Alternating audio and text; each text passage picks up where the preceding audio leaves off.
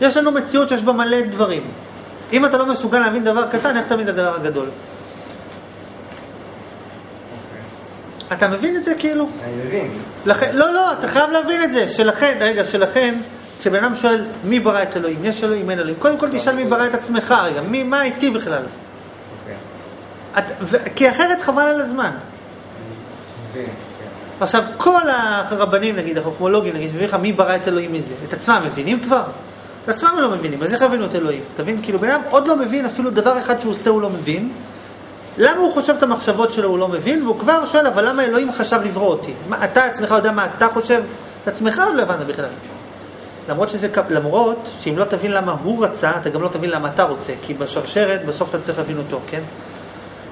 אבל אתה, הבנו את העניין? טוב, תמשיכו. מה, איפה אנחנו מתקדמים? עכשיו אתה רוצה שנתקדם, אה, למה אתה רוצה להרגיש טוב? אה? כן? מישהו פה יודע למה אנחנו רוצים להרגיש טוב? איך מתקדמים מכאן? בוא נשאל ככה, איך מתקדמים? אתה אמרת אין סיבה מתישהו. שכח, יש סיבה. עזוב, לא אכפת לך. בוא נלך עכשיו, אתה רוצה להרגיש טוב? למה אתה רוצה להרגיש טוב? מישהו יודע למה?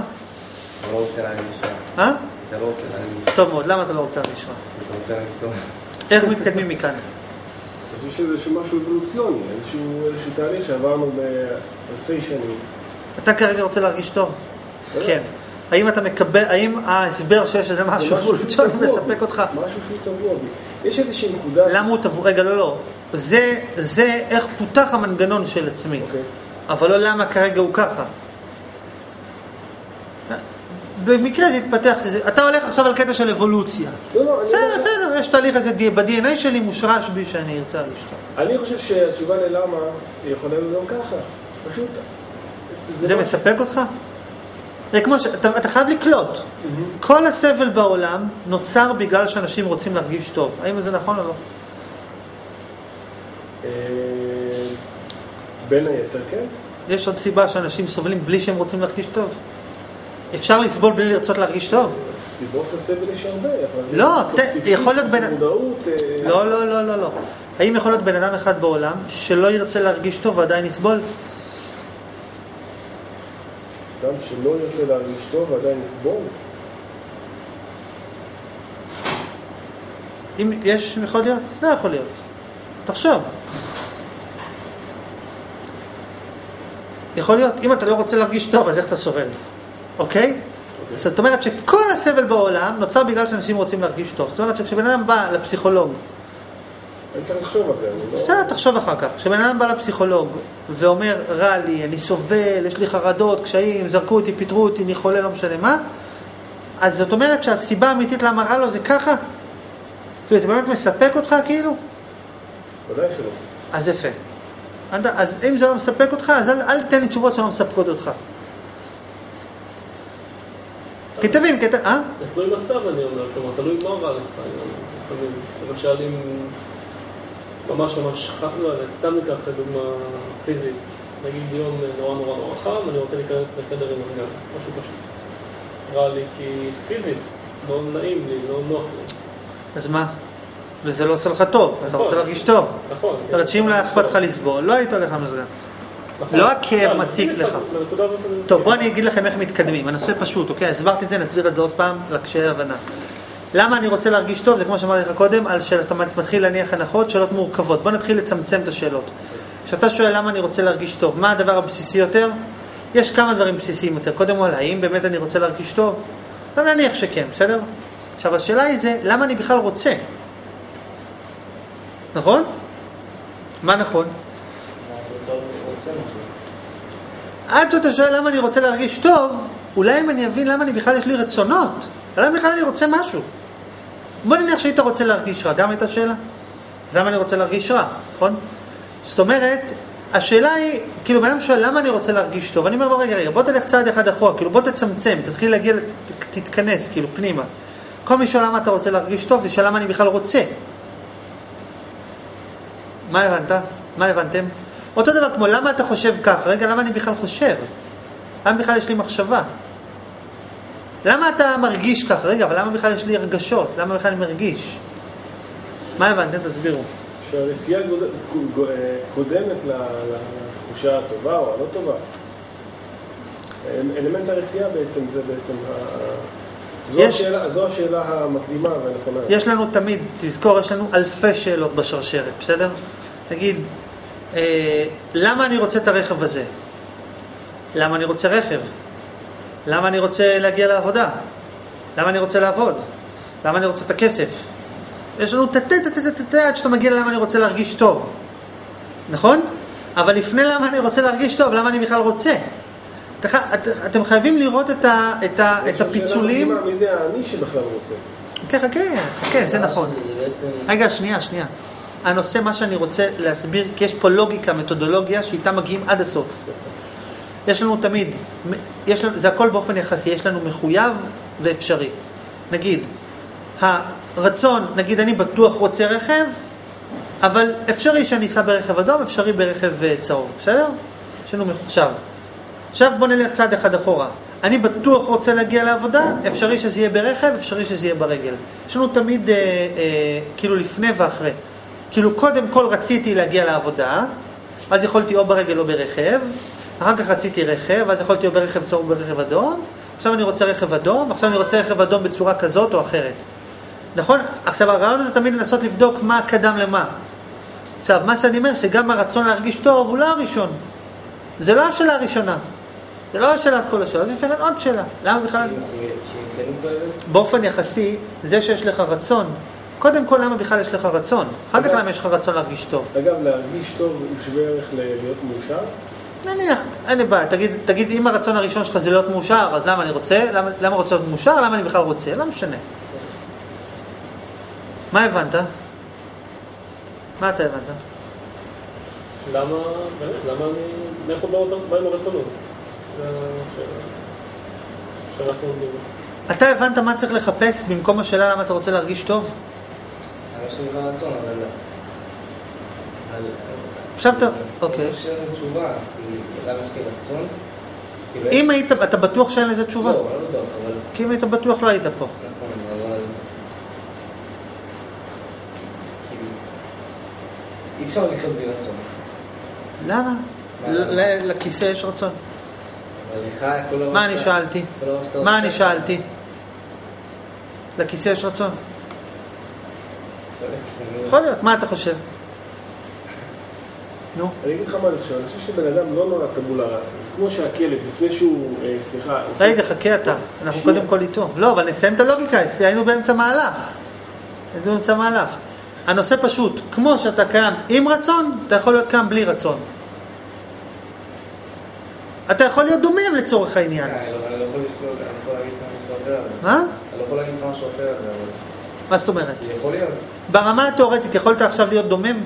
יכולת להיות מודע לעצמך תוך כדי שאתה דומם? יכול להיות שהכיסא מודע לעצמו והוא דומם. יכול להיות שהוא מודע, אומר אני כיסא, אבל אין לי רצון לזוז. יכול להיות, יכול להיות, נכון? מה אתה שונה בדיוק מכיסא? מה, שאתה זז? שאתה עושה צלילים? הנה, גם הוא עושה צלילים. הנה, הוא גם זז. מה קרה? האוויר דח... אני דחפתי אותו, האוויר דחף אותך. מה, מה ההבדל? אני אומר, יש לך רצון. למה בכלל יש לי רצון? עד שאתה שואל, אה, למה אני רוצה להרגיש טוב, תשאל למה בכלל יש לי רצון. אוקיי, אז אני אשאל... לא, אתה צריך להבין, זה לא אוקיי. זה אומר שמעכשיו, כל האנרגיה שלך, במקום למה אני רוצה להרגיש טוב, זה למה יש לי רצון. ואם רע לך בחיים, אז רע לך לא בגלל שאתה רוצה להרגיש טוב, אלא בגלל שבכלל יש לך רצון, אז רע לי בגלל שיש לי רצון. כן? עד היום חשבת שרע לך כי אתה רוצה להרגיש טוב. עכשיו אני אומר לך, רע לך כי בכלל יש לך רצון. כי תבין, מה אנחנו שוללים? כאילו, אתה אומר, אם לא הייתי רוצה להרגיש טוב, אז ממילא לא היה לי רע. אז ממילא לא הייתי רוצה שלא לסבול, בסדר? עכשיו אני קצת אחורה. אם לא היה לי רצון, אז בכלל לא היה בעיה. אני, כאילו, אתה חייב שמעכשיו, כשאתה רואה אנשים, אתה, ואתה שואל, רגע, אבל למה הוא רוצה את הדבר? שאלה, למה בכלל יש לו רצון? נגיד, כמו למה הפלסטינים לא רוצים? לא, לא, למה בכלל יש להם רצון? מאיפה בכלל הרצון שלהם? יפה. עכשיו, מה השאלה הבאה? עכשיו שאתה שואל, רגע, אבל למה יש לי רצון? מה השאלה הבאה? רגע, מה השאלה... אה? מה זה רצון? מה זה רצון? נכון? כי אתה אומר, רגע, אבל למה יש לי רצון? רגע, אולי אם נבין מה זה רצון.